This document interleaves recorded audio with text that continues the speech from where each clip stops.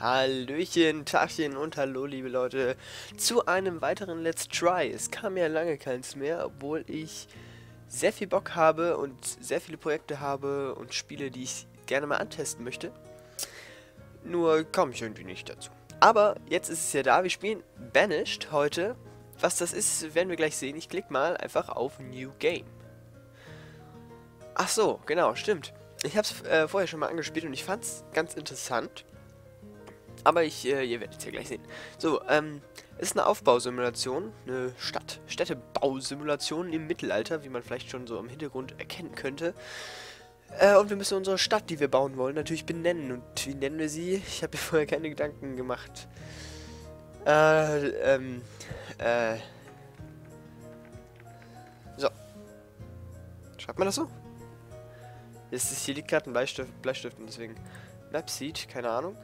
Ähm, Terrain-Typ, also wo soll die äh, Stadt sein? Also wie soll die Umgebung sein? Soll es eher ein Tal oder soll es ein Tal sein oder soll das bergig sein? Eher talgerecht, talgerecht, talmäßig. Terrain, Größe, äh, ja, Medium reicht. Klima. Klima. Ähm, ja, ist eigentlich, ja, wir machen mal mit, Mittel, ist immer gut. Desaster natürlich gerne. Und die Start Conditions sind Medium. Und so starten wir ins Spiel. Nach diesem kurzen Ladesequenzbalken Gedöns. Oh, man sieht hier eine, eine Zeituhr, eine, eine Sanduhr, genau. Oh, oh, jo. So, und es lädt. Und baut das Terrain natürlich jetzt auf. Und ja, das Ziel ist es einfach, was ich im Moment noch ein bisschen schade finde, ist es einfach nur den Winter und die Zeit zu überstehen. Man fängt an mit einer Familie oder mehreren Familien und einem Lagerhaus und dann kann man eben seine eigene mittelalterliche Stadt bauen. So, und schon sind wir da. Erstmal ein bisschen umgucken. Aha, okay. Hier ist ein großer See direkt nebenan.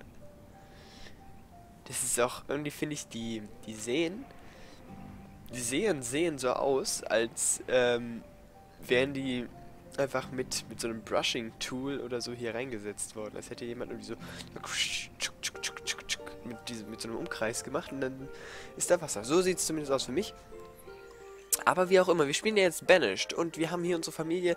Hier ein kleines Stockpile, ein Lager und hier ist, also das ist das Lager für Rohstoffe und das ist das Lager für, ähm, für Essen und Kleidung und ähm, Werkzeuge, genau.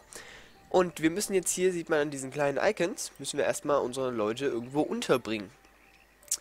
Und deswegen bauen wir direkt mal ein Haus. Häuser sind immer gut. Aber, da hier nicht so viel Platz ist, müssen wir natürlich irgendwie die Bäume und das Eisen und die Steine hier aus dem Weg schaffen. Und das können wir machen, indem wir einen Bereich ziehen. Hier, wir klicken auf Remove Resources. Remove Resources und können hier einen Bereich ziehen. Zack. Und jetzt fühlen die sich hoffentlich angesprochen und werden diesen Bereich abholzen und äh, enteisen von dem ganzen e Eisen und entsteinen. So. Und da uns das Ganze hier zu lange dauert, können wir auch das Ganze ein bisschen beschleunigen. Und da sehen wir schon, wie fleißig die kleinen Ameisen hier äh, am Arbeiten sind. Ist schön. Das ist doch so äh, so gönnt man sich das doch. So ist es doch nett. Ähm, ja, und da wartet man jetzt erstmal eine Runde. Wie es halt bei Aufbausimulationen ist, ist größtenteils äh, Warten der Fall. Aber man kann natürlich auch das Ganze ein bisschen beschleunigen hier. Ja, und jetzt warten wir erstmal, bis hier alles abgeholzt haben. Und dann können wir auch ein paar Häuser errichten, wo die dann erstmal unterkommen können. Wir haben hier ein Holzhaus und ein Steinhaus. Das Steinhaus ist saumäßig teuer und deswegen baue ich erstmal das Steinhaus und das hier ist ein Boardinghaus. Ich weiß noch, noch nicht genau, was das bringt, weil irgendwie sind bei mir, als ich das mal gebaut habe, nie die Leute da eingezogen. Aber auf jeden Fall bauen wir jetzt erstmal Häuser. So, zum Beispiel hier eins hin und daneben noch eins, hier mit so einem Abstand jeweils, damit es auch ein bisschen schön aussieht. Kann ich ja gleich mal erzählen, mein ähm, mein, mein Antrieb in dem Spiel ist es wirklich alles einfach nur schön zu bauen. Weil man hat wirklich, wenn man, äh, wenn man auf Medium Schwierigkeit spielt, auf mittlerer Schwierigkeit, hat man eigentlich keine Probleme mit den Ressourcen und so. Geht eigentlich alles. Und, oh, da ist schon irgendwas. Die Reserve of Stone ist low. Da müssen wir direkt hier nochmal, können wir auch sagen, nicht alle äh, Ressourcen aus dem Gebiet ähm, abholzen oder äh, wegschaffen oder uns eigen machen, sondern wir können auch sagen, nur den Stein in diesem Gebiet wollen wir haben. Und dann machen wir so. Dann geht es weiter. Und dann holen sie sich da den Stein, um die Häuser zu bauen. So, das ist das Prinzip und wir haben natürlich nicht nur Häuser, wir können auch, müssen ja auch ähm, für die Nahrungsversorgung sorgen, sorgen, sorgen, Versorgungssorgen, Versorgungssorgen müssen wir äh, mit Nahrung versorgen. Und da haben wir natürlich auch verschiedene Möglichkeiten. Es ist äh, verschiedene, Mö verschiedene Möglichkeiten. Ja, ich kann reden. Am einfachsten ist, glaube ich, weil wir hier an einem See sind, dass wir erstmal eine Fischerhütte bauen. Und die platzieren wir jetzt meinetwegen hier hin. Oder hier hin, genau. Und die wird dann eben auch gebaut. Hier können wir draufklicken, sehen, was wir alles für Ressourcen brauchen, damit die endlich mal gebaut wird. Und jetzt sehen wir hier, Mensch, die laufen aber langsam, unsere Leute. Das können wir auch beschleunigen, indem wir einfach mal zum Beispiel einen Weg bauen. Der Weg kostet, glaube ich, nichts, außer dass da eben die Leute den bauen müssen. Apropos bauen. Wie man sieht, bauen die Leute hier gar nichts. Wie kann das denn sein? Da müssen wir erstmal gucken, ob das so richtig ist. Zack, und da haben wir hier, wir haben im Moment, im Moment, im Moment haben wir elf Leute, die nichts zu tun haben. Und hier können wir die Berufe für die Leute festlegen. Das heißt, wir machen jetzt hier erstmal vier Bauarbeiter vorübergehend. Und die werden jetzt hier sicherlich gleich äh, checken, dass sie zu Bauarbeitern erwählt, auserwählt wurden. Und dann werden sie, genau, hier anfangen, das Haus zu bauen. Dann haben wir hier natürlich eine Fischerhütte und die Fischerhütte muss natürlich auch irgendwie besetzt sein. Das bedeutet, dass wir hier dann noch vier Fishermans ähm, konstruieren, Fishermans rekrutieren, meine ich natürlich, die dann dort arbeiten und uns Fische fangen, damit wir über den Winter kommen.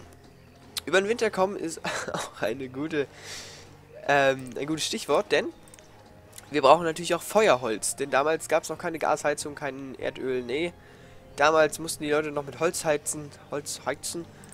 Und aus diesem Grund brauchen wir, wartet, wir brauchen das hier, genau, ein Woodcutter. Woody Woodcutter. Ähm, den platzieren wir einfach mal hier. Und dü, dü, dü, brauchen natürlich auch wieder eine Straße, die den ganzen hier, die das Ganze hier verbindet. So ein bisschen. Dann ist das Ganze hier schon ein bisschen schicker. So, ist das hier auch so? Genau. Sehr gut. Hier sehen wir schon, da ist diese Schneeflocke. Die bedeutet, das bedeutet, dass das Feuerholz, ähm, es ist, ich weiß nicht, ich kann ja mal kurz die Simulation ein bisschen anhalten. So.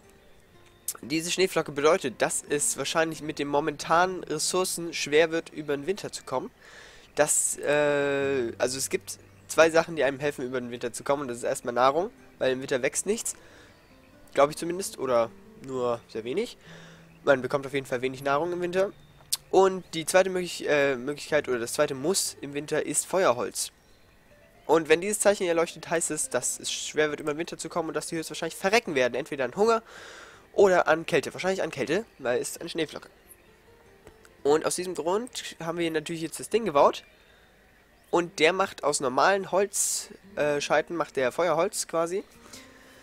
Holzscheiten, nee, aus normalen Holzstämmen, Baumstämmen, macht er Feuerholz. Und den müssen wir natürlich auch hier, guck hier, die Fishermans sind jetzt hier, steht immer, wie viele gebraucht werden. Und dann steht hier immer, wie viele ich ernannt habe. Oder wie viele es jetzt im Moment gibt. Und ich brauche dann natürlich auch noch einen Woodcutter. Da das Haus noch nicht fertig ist, wird hier noch nicht angezeigt, wie viele wir brauchen. Aber ich weiß das schon, weil ich das Ganze schon gespielt habe. Und wir brauchen einen Woodcutter, wenn das Haus denn hier fertig sein sollte, in kurzer Zeit. Hier sehen wir schon. Zack, genau. Und jetzt haben wir hier einen Woodcutter und der cuttet uns Wood. Das ist ja ein Ding, ne? Aber der braucht natürlich auch Holz. Und deswegen harvesten wir nochmal ein paar Trees. Wir sind ja in Deutschland. Ähm, ja, hier sehen wir, wie er seiner Arbeit nachgeht. Zack, zack. Feuerholz sammelt und das dann zum Lager bringt, damit die Leute Feuerholz haben. So. Klingt komisch, ist aber so. Dann wäre es natürlich viel zu aufwendig, wenn man jetzt die ganze Zeit, ähm, um Holz zu holen, hier irgendwas, irgendwas fällen müsste und es wächst gar nicht nach. Beziehungsweise nur sehr langsam. Deswegen gibt es noch einen anderen guten Beruf, einen Forester. Das ist ein Mensch, der pflanzt Bäume, um sie dann wieder zu fällen. Das äh, ist komisch, ne? So. Dann platzieren wir diesen Mann einfach mal hier hin und verbinden das Ganze natürlich dann wieder mit einem mit einer Straße. So, hier so ein bisschen rumziehen. Genau. Ja, und so sieht das Ganze erstmal gut aus. Allerdings ähm, glaube ich nicht, dass wir über den Winter kommen mit einer Fischerhütte. Obwohl, wir können mal gucken, wie viel... Ah, wir haben 36 Fisch, das ist sehr, sehr wenig. Deswegen fäll ich hier nochmal, mache ich hier nochmal ein paar Ressourcen also mache ich hier nochmal ein bisschen Platz, wollte ich damit sagen. Dann muss ich natürlich noch die Fischerhütte verbinden. Man muss diese Straßen nicht bauen, aber die sind halt dazu da, dass die Leute sich darauf schneller bewegen. Und da jetzt hier so viel Platz ist und ich möchte es nicht ausfüllen mit Weg oder so, kann ich einfach sagen, ich weiß noch nicht, ob das, also mir hat der noch nie was gebracht, aber ich baue jetzt hier einen Brunnen hin. Einfach so. Hier ist doch ein Brunnen, genau. Der passt da nämlich perfekt nicht rein. Ich baue ihn trotzdem dahin. So, Okay, wir haben jetzt hier viel Holz. Wir haben jetzt diesen Typen. Es sieht im Moment noch gut aus. Okay, wir haben wenig Essen. Wenig Essen ist nicht so schön. Na gut. Es gibt natürlich hier auch noch ähm, zum Beispiel ein Gatherer's Hut. Gatherer's Hut. Hut. So, das war Haftbefehl. Ähm, das ist ein Mensch, der sammelt Pilze und Beeren im Wald. Das kann er natürlich nur in Waldgebieten machen. Dann gibt es hier einen Jäger, einen Fischer, den wir schon haben. Dann gibt es einen Pasture, was ich nie verstanden habe. Das ist anscheinend, also man legt da einen Stall fest und da sollen irgendwann Tiere kommen, dachte ich. Bei mir sind da nie Tiere gekommen, als ich das gebaut habe. Dann kann man hier noch Felder pflanzen und ähm, Obstbäume. Genau. Ja. Ich habe das Spiel ja schon vorher mal äh, relativ lange gespielt und ich finde es wirklich, es ist ein schönes Spiel, mit dem man sehr lange Zeit verbringen kann. Weil irgendwie es ist so ein bisschen, man hat nie das, äh, den, den, den, den, diesen, also man wird nie gehetzt oder so, man ist nie unter Stress. Es ist alles immer ganz easy, man kann ganz easy irgendwas bauen, außer die Bevölkerung reckt gerade ab, weil man nicht genug Essen hat, dann ist man vielleicht ein bisschen unter Stress, aber normalerweise sollte das eigentlich nicht vorkommen. So, hier sehen wir das Fragezeichen. Das bedeutet, da ist einfach mal niemand zugeordnet. Deswegen ordnen wir hier vier Forester zu. Oh, ich klicke daneben. So, jetzt haben wir hier vier Leute, die Sachen anpflanzen und abholzen. Dann wurde hier natürlich auch jetzt ähm, das, was ich in Auftrag gegeben habe, gemacht. Und hier wurde alles abgeholzt und abgesteint und abgeeisend. Wenn man das so nennt. Und dann kann ich jetzt hier... Oh Gott, jetzt sind wir im Winter. Ich hoffe, wir kommen über den Winter. Wir haben nämlich keinen Fisch. Oh oh. Das wird jetzt ein bisschen knapp. Aber ist ja nicht meine Schuld. Genau, und so verläuft das Spiel eben die ganze Zeit. Man baut seine Stadt immer größer. Es gibt dann natürlich noch verschiedene Häuser. Ich werde das jetzt vielleicht noch eine Viertelstunde spielen. Und ihr könnt mir zugucken, wenn ihr wollt. Wenn nicht, dann gebe ich jetzt schon mal das Fazit ab, weil es wird... Ich weiß nicht, ob man sich das angucken will. Äh, ob das so spannend ist, sage ich mal jetzt. Ähm, so eine Aufbausimulation sich anzugucken. Fände ich persönlich nämlich nicht, aber ich wollte euch einfach mal zeigen, dass ich das echt ein cooles Spiel finde. Das Einzige, was ich bemängle, was dann wirklich den Langzeitspaß trübt, trübt, trübt, trübt, trübt, wollte ich sagen, das ist, finde ich, ähm, dass irgendwann einfach, also man baut seine Stadt immer größer, aber es gibt eben, wie gesagt, keine Gefahr. Es gibt keine Gegner oder irgendwas. Und das finde ich dann halt ein bisschen langweilig. Also ich finde es wäre schon cool, wenn man da nochmal, das würde eine ganz neue taktische Komponente reinbringen. Wenn es die ganze Zeit dieses langsame Aufbauspiel wäre und man müsste wirklich versuchen, über den Winter zu kommen und dann baut sich aber parallel nochmal hier drüben eine Stadt von einem Gegner auf. Und dann muss man Leute rekrutieren und das ist, äh, dauert alles lange und ist aufwendig und man kann alles bis ins kleinste Detail planen. Hier kann ich jetzt übrigens festlegen, was ich äh, anpflanzen möchte. Kürbisse oder Weizen. Ich pflanze einfach mal Kürbisse. Ja, und das äh, fände ich cooler, ehrlich gesagt. Wenn es dann halt noch Gegner wäre. Vielleicht wird es ja noch eingepatscht, es ist noch in der Alpha. Habe ich vielleicht nicht gesagt. Aber ich finde es cool. Ich finde aber persönlich, dass es nicht die 18 Euro, die es kostet, wert ist. Man kann sich natürlich auch über eine amerikanische Website bestellen. Oder kaufen, besser gesagt. Ist ja äh, alles, also man gibt ja, ist ja nicht mit Verpackung und so, man kann es ja nicht irgendwie bestellen, sondern halt nur kaufen und dann irgendwie bei Steam aktivieren. Und da ist es ja meistens so bei amerikanischen Webseiten, dass man den Dollarbetrag kauft und das wird dann natürlich umgerechnet in Euro und das ist wesentlich weniger. Und das ist dann gut. Jetzt muss ich natürlich noch Leute festlegen, die auf dem Feld arbeiten. Zwei Stück. So. Und dann bewirtschaften hier das Feld. Ich hoffe, ja, okay. Über den Winter kommen wir auf jeden Fall noch. Und dann kann man hier halt in Richtung Norden ja, ich könnte ja theoretisch in Richtung Norden so ein kleines Gebiet anlegen, wo ein Haufen Felder sind. Und gen Süden wird dann meine Stadt. So hier auf dieser Landzunge mache ich dann das, die Rohstofflandzunge und hier unten wird dann der ganze, ganze Rest. Der ganze, ganze Rest.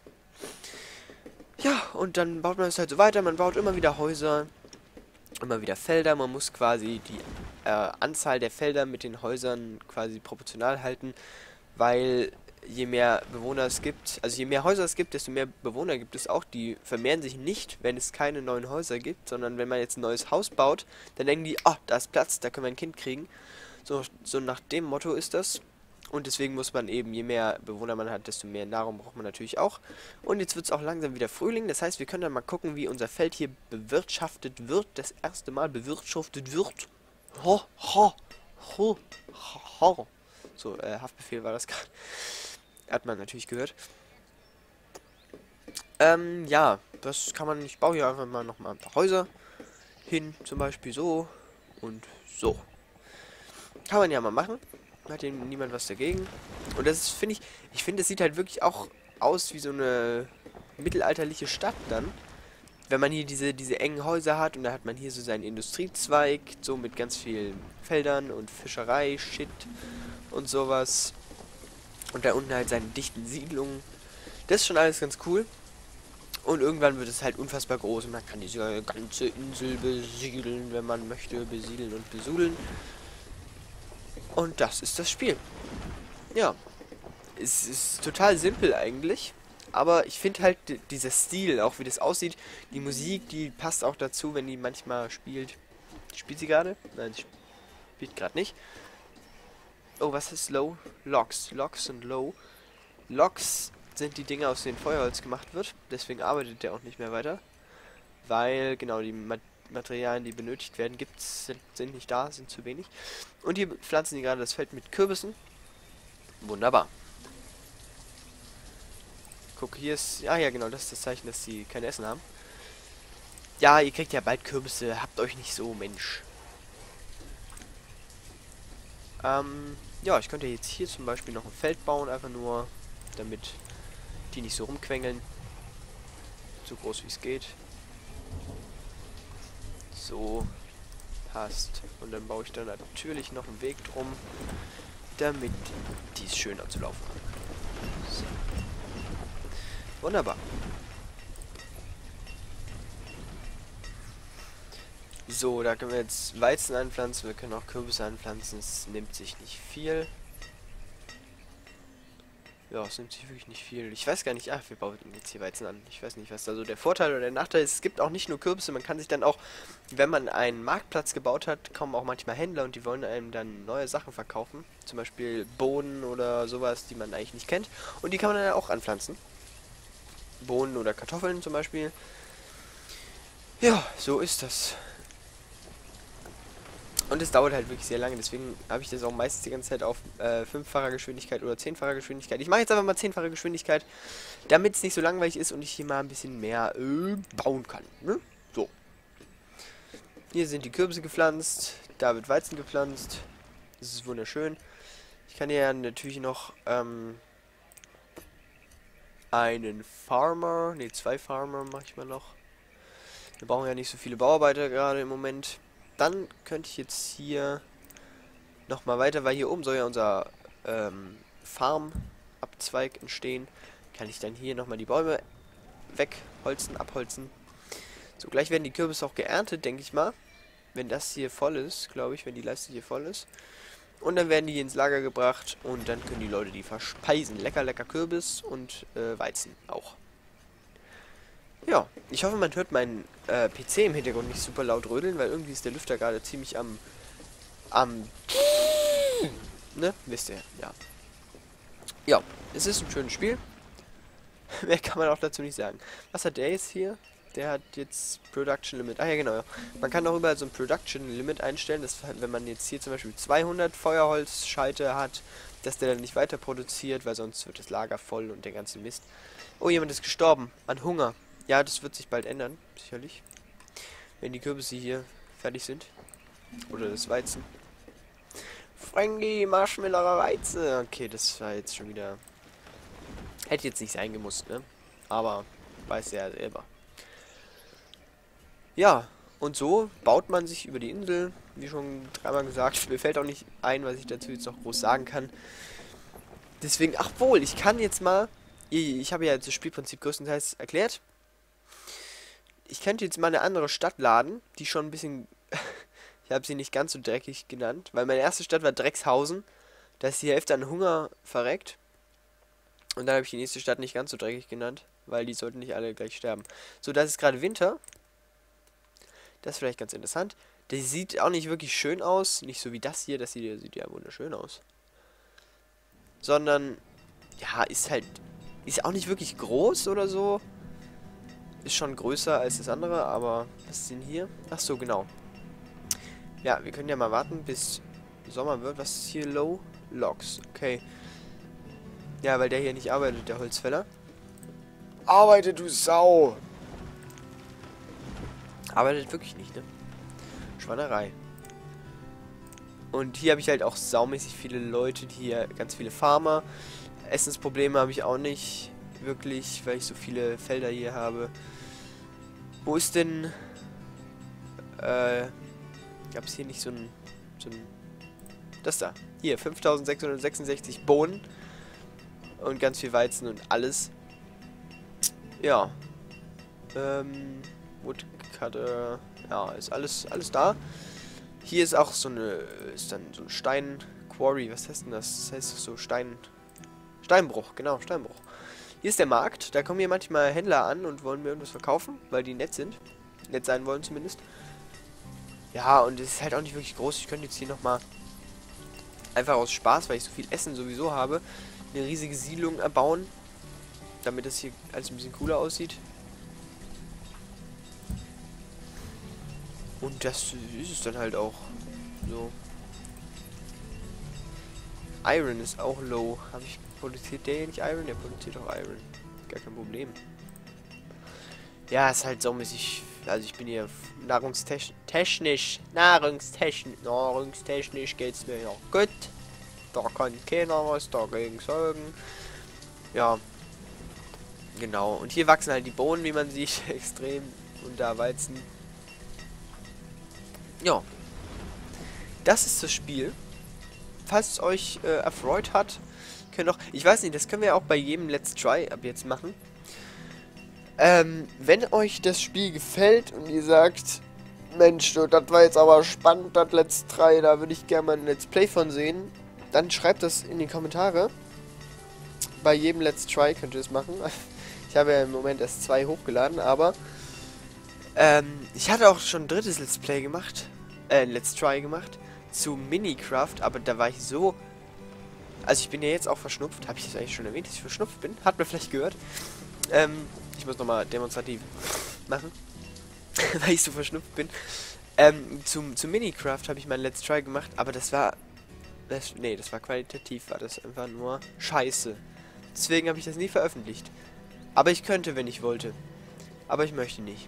So, da kommt zum Beispiel ein Händler angetuckert. Da, den können wir jetzt noch abwarten, bis der hier ist immer. Wo muss denn der langfahren? Hm. Kommt der jemals überhaupt zu meinem Marktplatz? Nee, der ist auf einem See. Wieso habe ich den Marktplatz auf einem See? Bin ich dumm?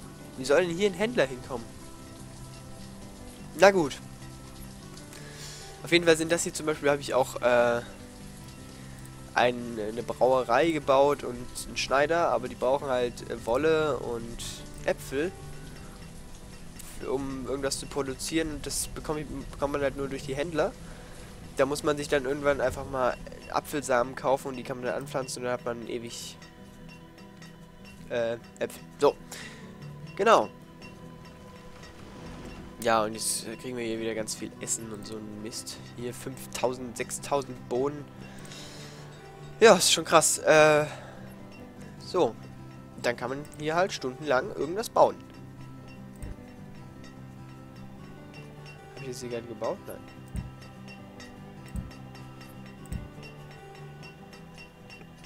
Ich kann jetzt hier einfach nochmal... Oh, meine Maus. Ah, meine Maus hat gerade gespackt. Was ist hier? Der ist gestorben? Achso, der wurde von einem, ähm, von einem Stein zerdrückt. Weil er im Bergwerk gearbeitet hat. Tja, gefährlicher Job. Arbeitet nie in einem Steinbruch, meine ich. Kein Bergwerk. Obwohl, kann auch sein, dass er in einem Bergwerk gearbeitet hat. Ich weiß es nicht. Ich baue jetzt hier nochmal ganz viele Häuser, einfach nur, weil ich Spaß dran habe. Man kann hier leider nicht so viel Mist machen. Es ist nicht so SimCity-mäßig, wo man einfach mal sagen kann, okay, jetzt Erdbeben. Oder jetzt Godzilla. God Godzilla. Godzilla. Ne, kann man leider nicht sagen, schade. Ja, und das ist halt das Ding so. Ne? Und hier, hier, das meine ich. Dieses, das ist dieses Boardinghaus, da zieht nie ein Schwanz ein. Könnte ich eigentlich direkt abreißen. Ich könnte doch. Ich weiß nicht, nee. Ja. So ist es hier. So ist es hier im Blog. Tag ein, Tag aus.